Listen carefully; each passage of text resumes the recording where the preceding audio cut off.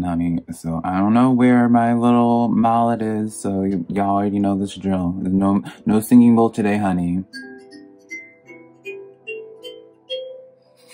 hey, girl.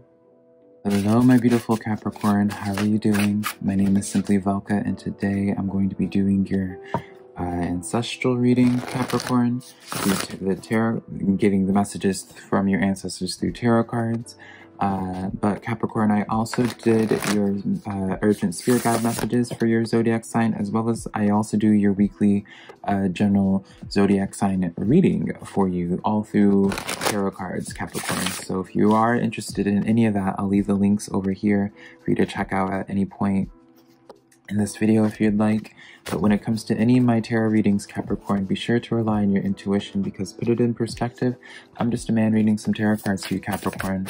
You know your situation better than I ever possibly could, so take the cards that resonate, Capricorn, and leave what doesn't, because I promise you I'm not going to be offended by it whatsoever. Now, Capricorn, if you do find some cards that resonate with you, I would love for you to let me know in the comments below which ones do and how they do, because that's how I keep up with y'all is through the comments, Capricorn. And also, I would really appreciate it for you guys to take that extra step to support my tarot channel by giving this video a like and subscribe if you do find some cards that resonate with you, because it does help me help out my tarot channel a lot, and I always just am super appreciative when you guys take that extra step to do that for me.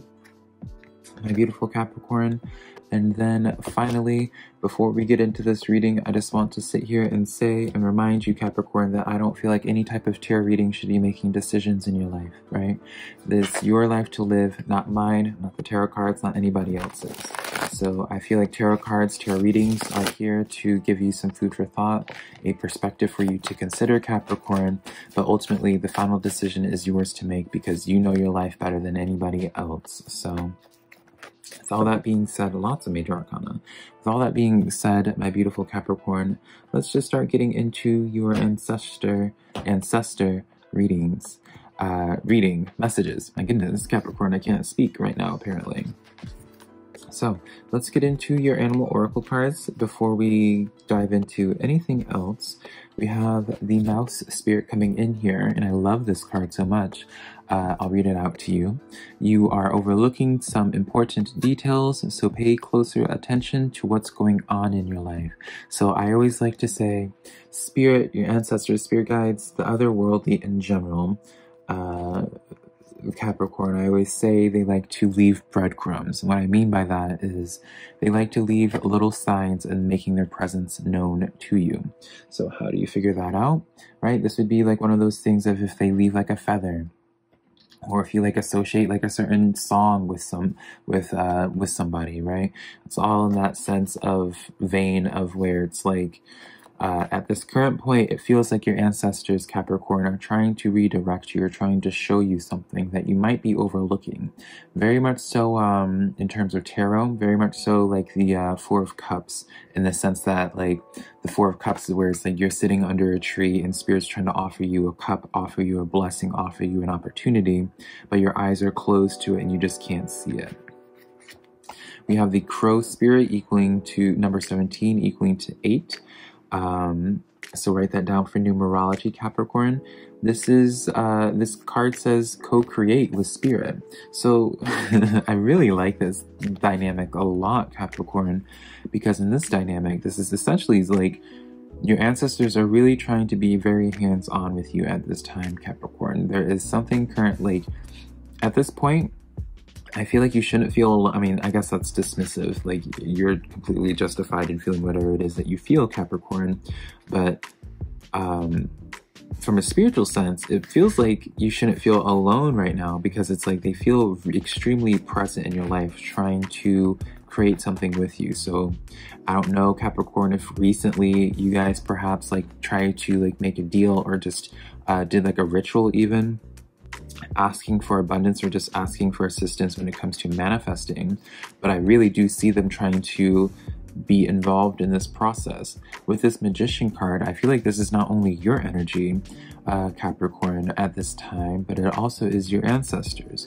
Very much so, very high uh, creation energy, very much so uh, just a high energy in general. With the uh, Magician card, Capricorn, this is a card of the individual or the archetype of the magician is someone that is aware that that they are the master of, the, of their own reality.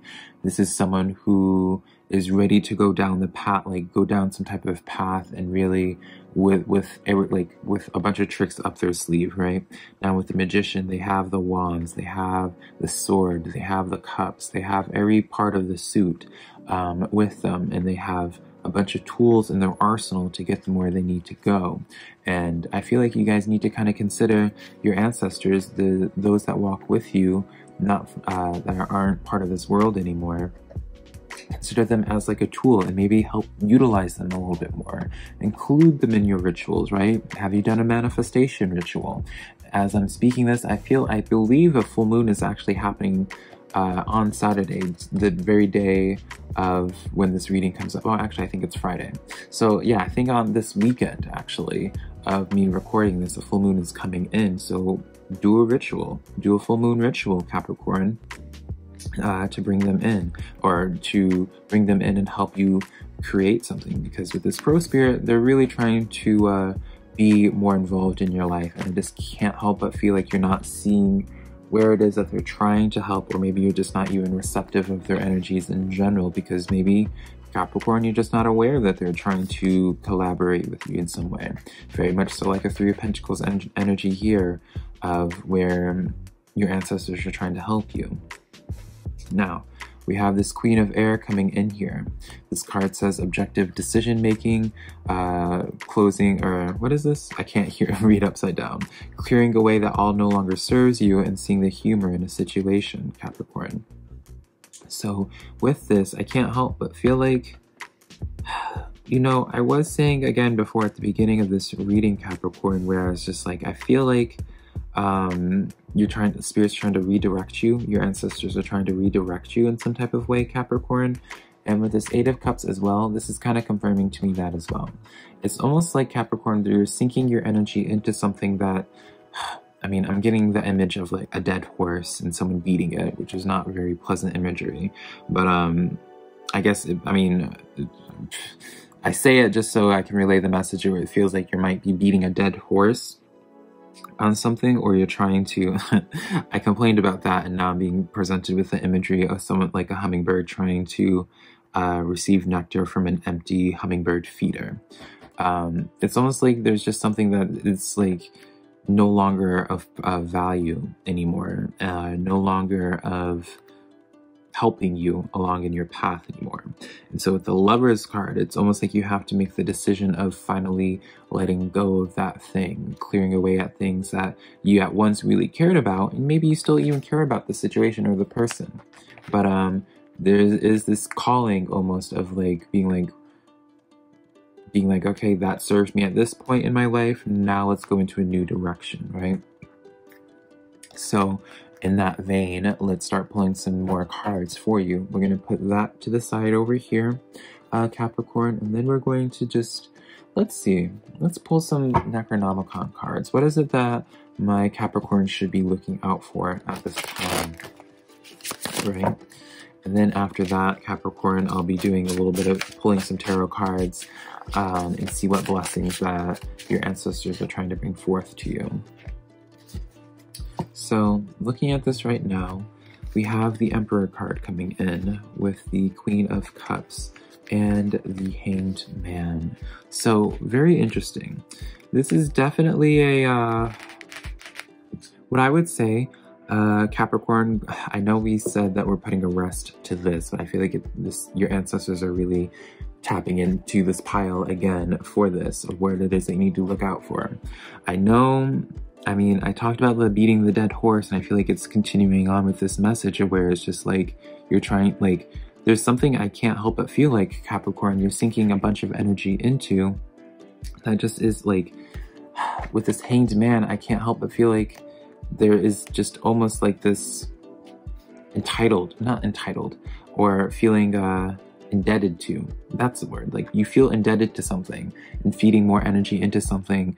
And it's almost just like because you feel indebted or like maybe you feel like um, something is like relying on you or putting pressure on you, that you feel this pressure uh, or this obligation, rather, I guess, of um, continue feeding into this uh, energy. And I can't help but feel like you kind of need to uh, do away with it. Tower card, honey, let's go.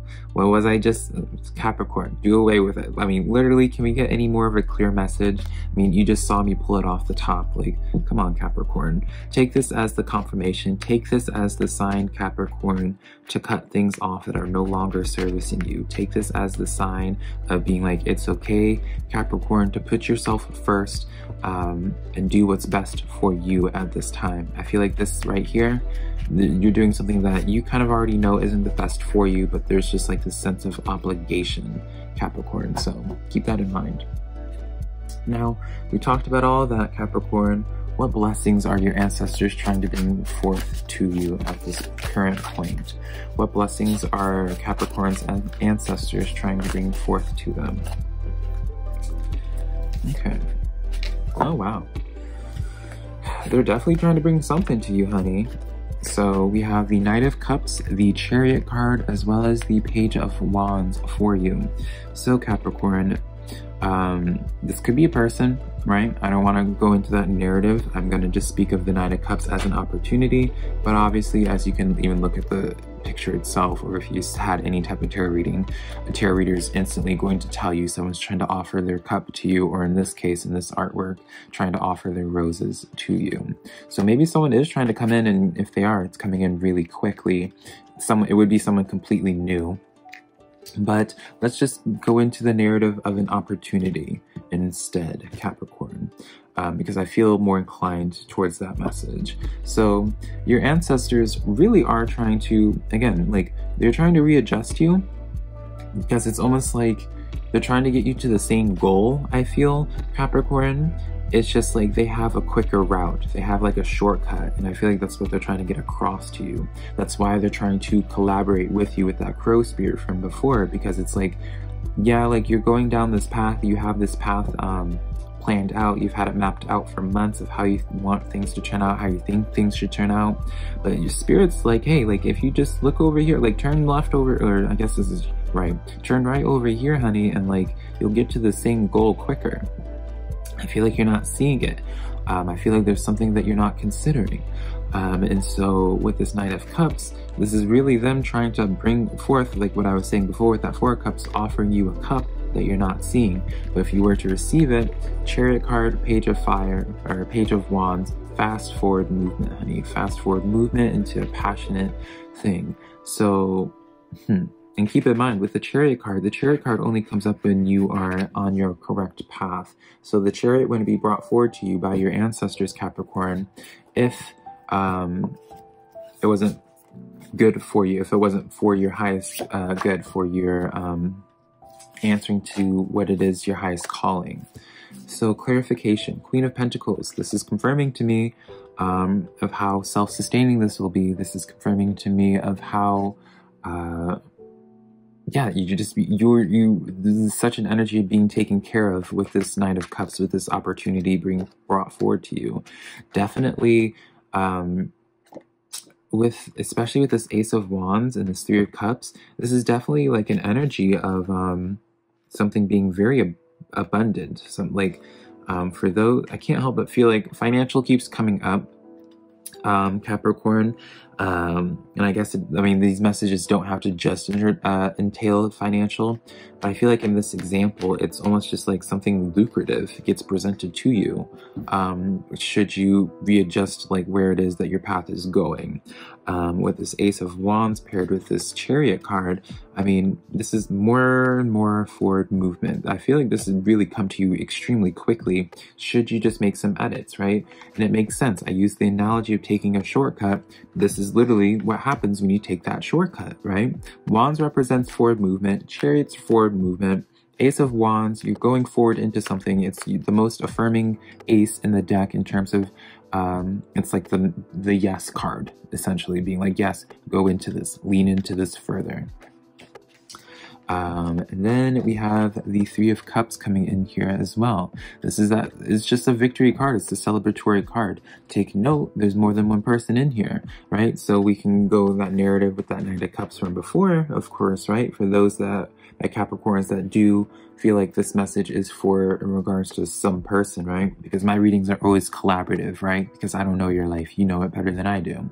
But what I want to point out is from your crow spirit from before, you know, it's that collaborative energy, honey, and they're celebrating with you.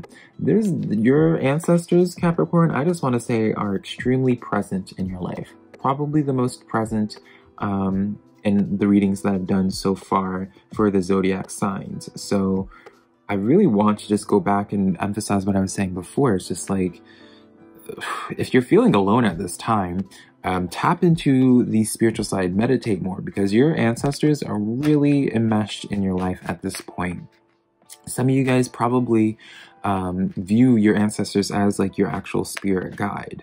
Um, it's very interesting how invested these your ancestors are into bringing forth some type of blessing into your life. It lets me kind of know that this is um, I heard the word karma, but it's almost just like well deserved, like something that you've been deserving, that you put a lot of energy. Like it's just almost like it's time for some good. It's time for Capricorn to start experiencing some blessings uh, for a change. And I feel like that's what your ancestors are trying to get to you.